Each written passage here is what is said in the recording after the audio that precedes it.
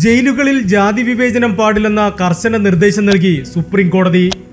എല്ലാ സംസ്ഥാനങ്ങളിലെയും ജയിൽ ചട്ടം പരിഷ്കരിക്കണമെന്നും സുപ്രീം കോടതി നിർദ്ദേശിച്ചു. Chief justice D Y Chandrachud അധ്യക്ഷനായ ബെഞ്ചിന്റേതാണ് ഉത്തരവ്. സ്വാതന്ത്ര്യം ലഭിച്ച് എഴുപത്തിയഞ്ച് വർഷം കഴിഞ്ഞിട്ടും ജാതി വിവേചനം നിലനിൽക്കുന്നുവെന്നും ചീഫ് ജസ്റ്റിസ് ചന്ദ്രചൂഡ് അഭിപ്രായപ്പെട്ടു.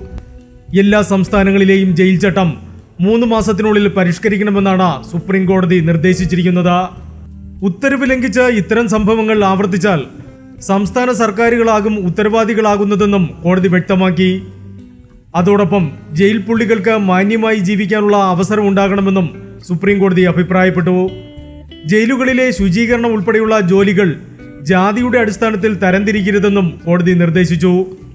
കേരളം ഉൾപ്പെടെയുള്ള സംസ്ഥാനങ്ങളിലെ ജയിൽ മാനുവൽ ചോദ്യം ചെയ്തുള്ള ഹർജിയിലാണ് സുപ്രീം കോടതിയുടെ ഉത്തരവ്.